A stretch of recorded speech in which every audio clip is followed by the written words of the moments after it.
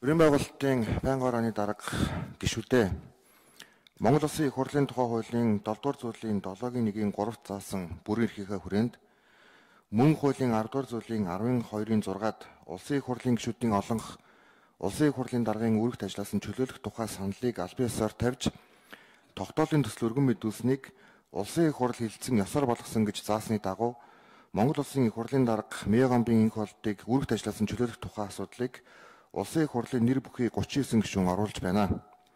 Монгол Улсын их хурлын дарга Мегамбын инх болдыг үүрэгт ажилласан чөлөөлөх тухай асуудлыг Монгол Улсын их хурлын чуулганы хуралдааны дэгийн тухай хуулийн 16-гийн эштрийг 3 дахь хэсэгт заасан журмын дагуу Монгол Улсын их хурлын тухай хуулийн 10 дугаар зүйлийн 10-ын 3, 14-т заасны дагуу шийдвэрлэж өгнө. Тогтоолын төслийг тараасан байгаа. Баярлалаа.